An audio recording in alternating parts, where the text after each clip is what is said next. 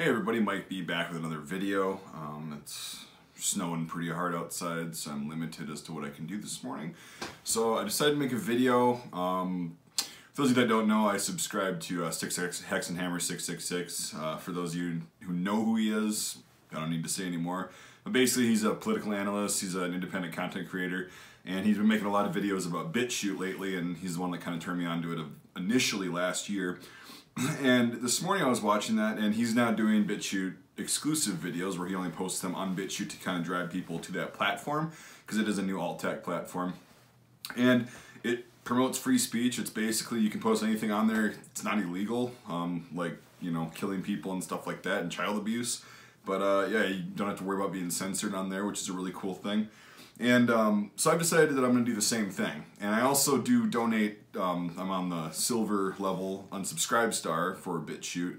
I, I do donate 10 bucks a month for them because they're actually doing a fundraiser right now to kind of get things expanded as far as um, functionality and stuff like that, like getting all the bugs that they possibly can ironed out and um, expanding like to live streaming. I haven't been live streaming on YouTube because they were fucking stupid and took Google Hangouts off, and it's a royal pain in the ass to do a live stream uh, with someone else without Google Hangouts. Uh, I can do it by myself, but I don't like doing live streams alone. I like talking to other people on there, and that's why we haven't been doing live streams since they nixed Google Hangouts.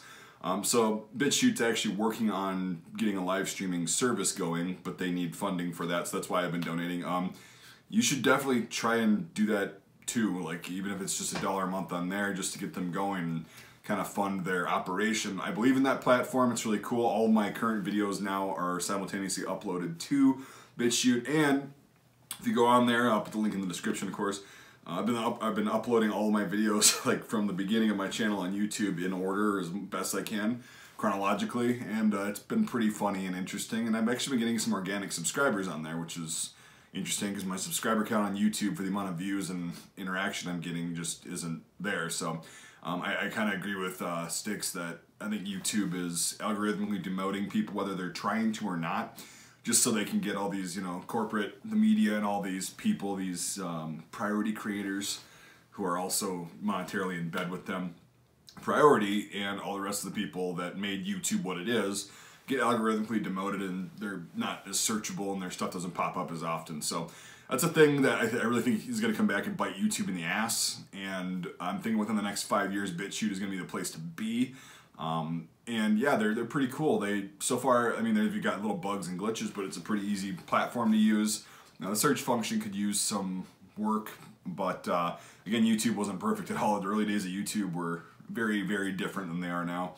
But I think that's a good place to be. So yeah, I'll be I'll be starting to make exclusive videos on BitChute because on there I'm not scared of getting a strike against my account, you know, for just saying what's on my mind. That's why I usually don't get into like politics or um, just kind of personal issues and not like personal, like my personal life, but like things I have an issue with personally.